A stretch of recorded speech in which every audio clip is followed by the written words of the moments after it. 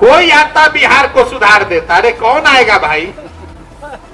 केरल को केरल के लोगों ने बनाया है पंजाब पंजाब के लोगों ने बनाया है। अगर बिहार को बनाना है तो बिहार के लोगों को प्रयास करना पड़ेगा। समस्तीपुर बिहार में परिवार का सुख खत्म हो गया प्रशांत किशोर। नमस्कार मैं संजीव और आप देख रहे हैं दृष्टि न्यूज़ विद्यार्थी धाम। पद यात्रा के दौरान जन सुराज के सूत्रधारक प्रशांत किशोर शुक्रवार को समस्तीपुर के मोहदीनगर ब्लॉक के नंदनी गाँव में पहुँचे जहाँ लोगों से सचेत रहने की अपील की। क्या कुछ कहते हैं प्रशांत किशोर? जरा सुने ध्यान ऐसी होली दशहरा छठ में भी लोग घर परिवार में एक साथ जुटने का प्रथा बिहार में धीरे धीरे खत्म हो रहा है।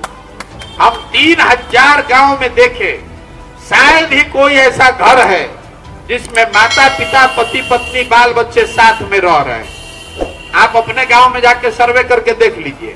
चाहे धनी हो कि गरीब हो, अगड़ा हो कि पिछड़ा हो, सबको चाहे पढ़ाई के लिए बाहर जाना है, चाहे मजदूरी के लिए, रोज़गार के लिए बाहर जाना है, सबको अपना परिवार छोड़ के जाना ही जाना है। लेकिन यहाँ किसी को असर ही नहीं है। हर आदमी मस्त है एकदम अपने जीवन में। सोचता है कि हम बैठे रहे, कोई आके बिहार को सुधार दे। तब तक हम दाल भात चोखा बढ़िया खाकर बैठते हैं। कोई आता बिहार को सुधार देता। अरे कौन आएगा भाई? केरल को, केरल के लोगों ने बनाया है, पंजाब को, पंजाब के लोगों ने बनाया है। अगर बिहार को बनाना है तो बिहार के लोगों को प्रयास करना पड़ेगा।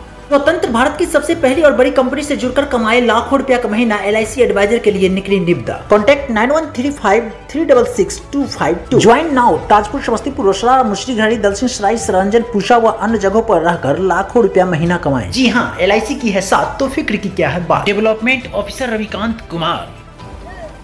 दूसरी बात छोड़ दीजिए अभी आप पिछले सीज़न में धान बेचे होंगे यहाँ तो धान नहीं होता है ज़्यादा लेकिन हम चंपारण से चलते हुए आ रहे हैं तो खाली धाने का एरिया है। शायद ही कोई किसान मिला है जो कि 1200-1400 से ज़्यादा में धान बेचा हो। धान का आधिकारिक मूल्य है दो हज़ार पचास रुपया। कहीं आप सुने हैं कि धरना प्रदर्शन हो रहा है? कहीं नहीं हुआ। आप किसान आंदोलन के बारे में सुने होंगे। किसान कानून आया तो मोदी जी को किसानों ने घेरा। एक साल नहीं, डेढ़ साल तक घेरे रखा।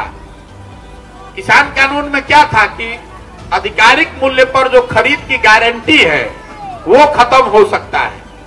तो बिहार का किसान नहीं गया, बंगाल, उत्तर प्रदेश का किसान नहीं गया, पंजाब का किसान गया, जिसका धान, गेहूँ आधिकारिक मूल्य पर खरीदा जाता है। यहाँ का आदमी तो 1400-1200 में बेच रहा है 2000 का धान। और उससे पूछिएगा कि भैया, काहे नहीं 2000 में बेच रहे हैं? तो कहेगा कि, अरे भैया, बिहार में ऐसा ही है, हम लोग इतने में बेचते हैं। तो 2000 का धान 1200 में बेचिएगा आप भीख मांगिएगा तो हम भीख मांगेंगे। दो सौ का 260 का यूरिया खरीद रहे हैं 800 में। और 2000 का धान बेच रहे हैं 1400 में।